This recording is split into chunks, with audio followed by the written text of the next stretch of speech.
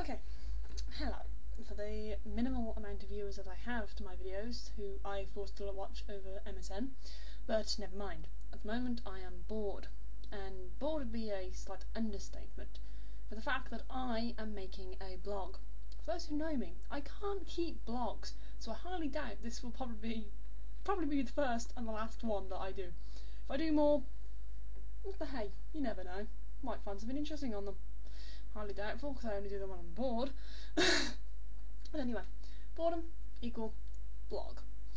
Now, as we know, I'm not a big fan of blogs because I can't keep them. I've tried many a time, from handwritten to keeping them on disk, to live journal, to even one that Gareth nicely supplied for me. Even to keeping a blog on a forum that I'm quite regular on. My posts equal over 200, I've been there for less than a few weeks, yet my blog entries equal 2. So, anyway, explaining why I'm so bad at blogs, we will move on. Now, rambling. There's nothing like a good ramble over a nice little box of pirates. Yes, I said pirates. By pirates, of course, I mean strawberries. Strawberries are pirates, and this is the little pirate ship. No, I have not gone insane. I'm not the only person that has these views. There are others. Believe me. Anyway, rambling. What to ramble about? Well, first I think should be the obvious. The reason why I'm so bored at this moment is because there's no one online to talk to, but the reason I'm up so horribly early for me, that is, me only, no one else really wakes up this soon in the morning. Well, even if it is 11 o'clock. but yeah. The reason I'm up so early is because I have to return these. Criminal law, Psychology Advance, and more Psychology Advance. The reason this being is because the college loans them out to us, and I finished both these courses, so I have to hand the books in. I thought I could do this to my leisure, but I've had a letter sent to me in the post saying I owe them over eighty pound. I'm the first to receive this kind of letter. My friend got one last year and ended up being charged fifty odd pounds. So, or was it more? I can't remember. She, I think one of them had over 150. But who cares? I'm not paying it. No one pays them. I'll give them the books. They can frack off. Okay, right now, I'll take my strawberries and ramble to you while I'm off watering some plants. To water the plant. I've got to take the books back, so new ramble. My old job. And if anyone knew me whilst I was hired by Ann Summers, party planner, blur, realised I had a hell of a time of it. I had no idea what I was doing.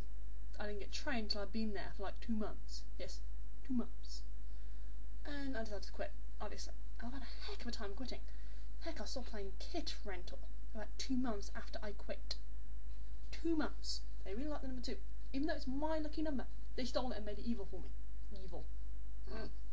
Stupid Ann Summers. Anyway, I seem to finally quit. Now, I want my certificate back. Not a hard question. But the woman that has it has also quit the company because of family issues, and all of her parties she had happened to be fake parties. Yes, I know. Makes you feel oh so comfortable about working in the company, doesn't it? But yes, I have now quit the company and I want my certificate back. And they keep saying, ask this person, ask this person, call these people up. I spent hours on the phone calling people up just for my birth certificate. But they tried also then telling me that I owed them four hundred pounds. I was like four hundred pound? I don't owe you four hundred pound. And that was the kit rental. And I was like, no, I don't owe you four hundred pound for kit rental. Kit rental's three pound. But the kit cost five hundred pound, but I owed them four hundred pound. But the leaflet they sent me said I owed them three hundred pound. But Trace said I owed five hundred pound. And there's a big messy cycle. But now I've sent a big ass box back after them. Bye bye. They can have that back. But it seems that everything has been sorted out. My last order has gone through, thankfully, otherwise I would have killed them because that was quite an expensive order. I've still got my diary, which I probably should have posted, but I kind of forgot, and who really cares? It's not that interesting anyway. But as soon as I still got back, I'm good. They sent me a photocopy, expecting me to be happy with it. So anyway, I'm now going to leave you to go back to whatever you were doing before you randomly decided to watch my ramblings for no particular reason because they were rather boring. And I am going to put some shoes on and some socks on and trudge all the way to my college, dump some books off, tell them to screw off, and I'm not paying them fifty odd pound.